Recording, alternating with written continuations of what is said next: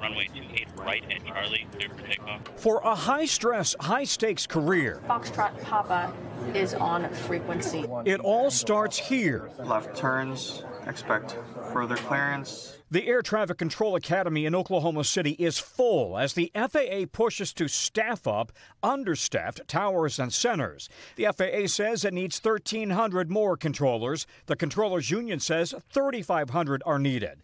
The FAA is struggling to keep up with mandatory retirements at 56. How long will it take you to get to full staffing?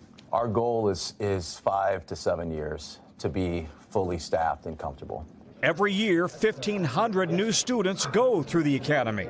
It's here the controller candidates are trained for either the control tower or an en route center, handling air traffic at 18,000 feet or above.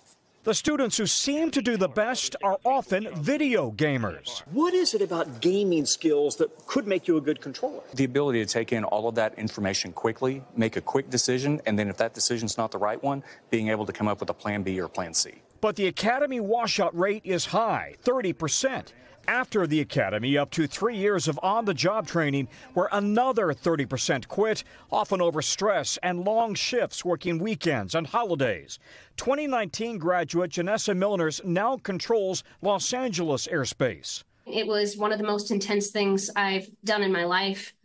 Um, just because you you're trying so hard to to make it through. Falcon 7350 hotel, go around. The simulations as real as possible. Now's the time to make mistakes, right? Don't be nervous, okay? Just follow through with everything, okay? Canada Tower Delta 802 ready for departure. Tabletop exercises teach spacing and runway orientation. The FAA is also recruiting veteran military controllers and college program grads who go straight to on the job training. To think three to four to five steps ahead. That is the type of person that it takes to do this job. In a business with little room for error, every detail matters. Tom Costello, NBC News, Oklahoma City. Thanks for watching. Stay updated about breaking news and top stories on the NBC News app or follow us on social media.